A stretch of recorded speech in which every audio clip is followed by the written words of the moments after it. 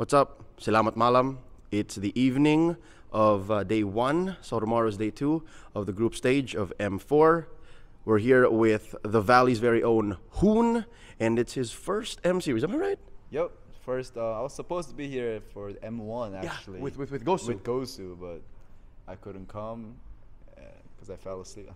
But yeah, I did fall asleep. Okay. But long story short, really, did you fall asleep? I did. But that's not why we cannot. Why I didn't come. All right. Um, So it literally happened, but there were other reasons. other reasons, yeah, for sure. All right.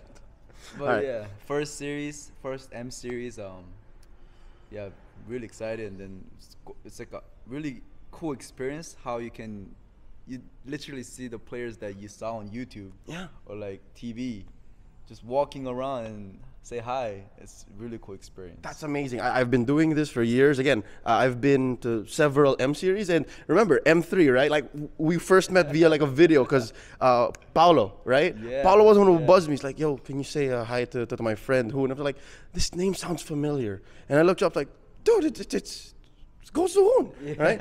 So um, again, every single time, every year, I think M2 really didn't feel it much.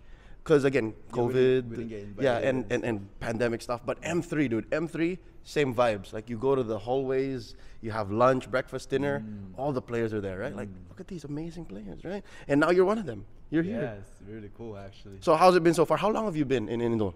Oh, in Indo, we've been here for like almost three weeks so far. Almost, yeah, almost three weeks. It, it feels like a month. Almost. For me, like I've been following you guys on social media, like they've been there a while. We came here um, actually December 5th. So, yeah, almost getting a month, yeah. Long How's it been so far?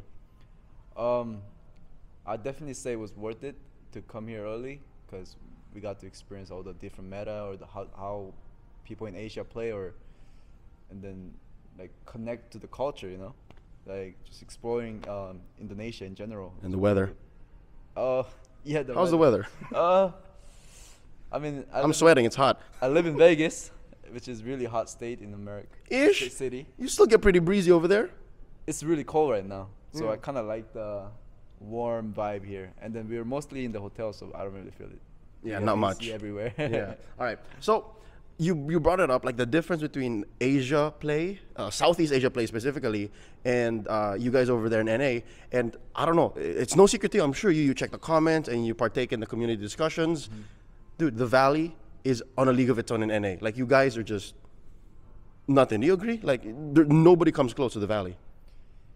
Ooh, I, I yeah, maybe now I can say that, but back in when we were in NA, there were like somewhat more competitions than people actually expected. Also, you guys leveled up now. Yeah, um, ever since the BTK did so well in M3, people really got motivated to play again. Like they actually wanted to like be like BTK, right? So I think there were a lot of players that like gave a lot of like commitment to the game. Okay, so how did that happen? Tell us the story because, again, it was a sad day when, when we all learned and officially that BTK wasn't together anymore. And here comes this team, the Valley, which looks like the NA super team, right? Like you have a Filipino gold laner, uh, you have uh, an OG in mid, right? Like you've been here for years, you've been doing this for a long time. And then you have what remains of BTK. So how did that happen? How did you guys form the Valley? Well, at first it was just like um, this whole idea of BTK wasn't really a thing, but then um, we had actually a Team Valley team without Zayn and Chicken. Hmm. We we had a team without Zayn and Chicken. So Shark, Hoon, uh, basic, Basic. and then two others. hmm, I see. Yeah, but then and then at the time, Chicken and Zayn were in Indonesia, I believe. Yeah, yeah, they, they had like a, a BTK revival tour. Yeah, yeah. I think they made a stop to the Philippines too. yeah, they did. They did. So, but then, um, yeah, we, we were playing a lot, and then we really thought we needed like a actually experienced um, jungler and teammate uh, that could actually hold us together to the M4. So this is the Valley prototype. Like you guys, Prototype, yeah. yeah. you guys needed Yeah. a little more. Needed it more more. But yeah. you said jungler. So what about XP lane? How was your XP lane at the time? Um. Yeah, we had a discussion about it too, but then we all know Chicken and Zane's like a package. Yeah, uh, that's what I was thinking. It's like, so you're gonna get Zane. How about Chicken? It Just comes along, right? Yeah, and then Chicken's a great player too, so He why is. not? And then they have synergy, they have uh, experience. And then yeah, we approached to them, and then we talked about it. Then we try, we it happened, you know. So who approached them? Who who who messaged them? Was it like as a group, or, or did someone reach out? It was just mainly basic. Yeah, basic kind of like just went everywhere to like talk to people. So basic is like Nick Fury. pretty he, much. He assembled the NA Avengers. Hey, I'll I'll say so. You know, I yeah yeah, pretty much. What does that make you? If you were an Avenger and you know, NA, the Valley is is, is, is a superhero team. Who are you? Mm, Doctor Strange. Mm, Of course, a mage. Of course. okay, that brings us to your mid lane matchups. Uh, one of my first conversations with Hoon, uh, let me just share with the folks here, uh, was talking about like who are your favorite uh, mages, right, or mid players in, in Southeast Asia, and you answered very specifically, right? I did. Correct me if I'm wrong. You said Sanji. I did. Yeah. What did you like about Sanji? Um, just just the way he plays, the way he connect syncs with his tank, it's like really great. And then I can like whenever I do the matchups in the mid lane, I can I can see if that person's like really good or not, right? You can tell like oh, I can I can predict that this person's gonna do this, mm-hmm. but he doesn't. Yeah, you can test him Like Yeah, yeah, like oh, it's so obvious you're gonna do this, but he doesn't do that. not Sanji. Not Sanji, I see. too smart. Okay, so I want to ask you what's hmm, what's the right word? Uh, okay. What motivates you? The challenge or the fear of, fear of failure? Like in your lane, what would you rather do? Like to be better than your matchup or to not mess it up? That's a really tough question because Yeah. um, I think it's really situational. Mm-hmm. There's a there's a time that I can actually like challenge that I have to challenge myself in order to win, and there's a time that I just do not need to do anything when And my just- team is just winning. Yeah, let Or- them do it. Yeah, yeah, I'm yeah. like Xavier on the turret, oh, yeah. like I shouldn't just flicker and make a play. You know, Mhm. I should be very passive and then farm for late game Yeah. and then yeah try to carry the late game right so Okay. there's i think it's really situational and then that's what makes a player a good player or bad player When you know the difference. yeah they know when to do it Okay. pretty much So let's say, regardless of matchup, regardless of heroes, what challenges you more? Someone who's mechanically gifted or someone who works well with their team? definitely the second one no matter how good you are in the mechanically like if your team's not synced you're not gonna beat the Yeah. greatest teams Yeah, it's, it's always all about the yeah the team. It's like all-star team games, right? You you can pick a best player in each team, Mm-hmm. form a team. They're not gonna be the best team. There's always like uh the synergy that is um, before mechanics, I think. yeah, and again, this is coming from years of experience in the MOBA space, right? Right, right. Yeah. So let, let's go way back. Uh, before Mobile Legends, before all this, have you been a gamer all your life?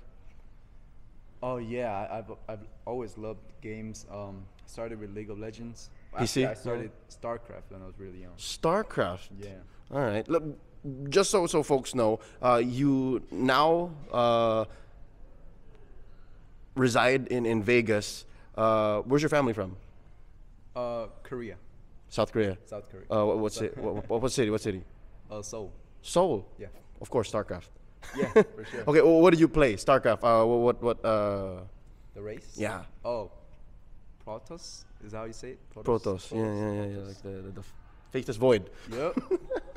mage looking guys. Yeah, yeah, yeah. I've yeah. always loved mage. And whenever I play RPG, I play mage. That's the thing. yeah, it's just I'm hooked at the fact that you can just stay back, relax, and just Mm, throw skills. Spells. Just Yeah, I always, I always got fascinated by those ideas.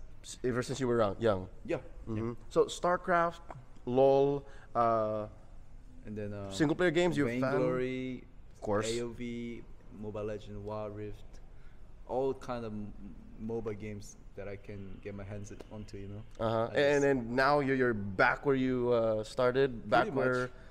Back to my, you know, just.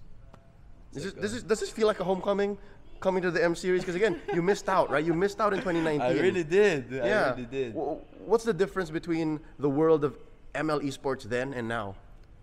I think it's just way more recognized and then way more organized. You know, if it was just a friends playing for fun, and then somehow got lucky to be in the place, if, it, if that was an M1, I think this is more professional, more more dedicated people gathered up together to win, not for experience, just to like you know have fun, but to win, you know, To achieve something. to achieve something. Yeah. Yeah. Speaking of achieving something, uh, we're about to wrap up our conversation here.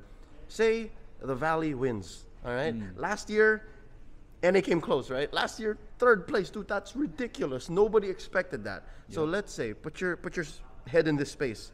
What if Hoon, Basic, Zane, Chicken, and Shark win? What do you think is gonna happen? Ooh. I think it's gonna it's gonna be a game changer for our region at least. I'm not sure. I don't think nothing's gonna change in other region, but at least for our region that we represent, NA specifically. which is kind of been a meme region, I think it's gonna be a huge change. A lot of players gonna jump into the scene, knowing that they could also do, do the same, and then they'll be really proud, and then they'll be really motivated. Mhm, like- and then hopefully MPL NA. Hopefully, everybody Hopefully. everybody's been asking MPL MPLNA when, right? But that's that's for the scene, that's for your team, and that's for the region. How about for you? What, what's gonna happen? What are you gonna do? Uh, for me, um, World champion. World champion. I, I really want to go to Philippines Uh huh. and then Push it, push it. Just keep going. just yeah, just do contents with the greatest players, and then just connect with the with their culture and all that. Yeah, the, one of the I I biggest wanna- communities. like, Yeah. Yeah, I wanna um, uh, explore outside of NA pretty much when I become a champion, and then just yeah. I don't know. It's I haven't thought about it actually. Yeah, no, yeah but- maybe I should think of think about it more deeply. Yeah, know? but no. Here's the thing. You don't have to think about it because the road to that championship starts tomorrow. that's true. Yeah, you got matches going on tomorrow. So real up to us now. Yeah, no, it's up to you. So, uh, what's a message that you have for your fans all around the world? Because tomorrow the Valley starts playing. It's a group stage, best of ones. Uh, go ahead. Um. Uh, I know it's my first time in the M series, but please, um, even if I mess up, don't don't trash talk me. but yeah, I'm pretty confident that we're gonna do well, and then please keep supporting us, and then we'll play our best for NA All right. and uh, for our fans. Lovely. So that's Hoon of the Valley. Tomorrow there'll be an action. Check it out. Day two of the group stage M4. Dare to be great. For now, we're gonna go ahead, call it a night. Salamat malam. Peace out.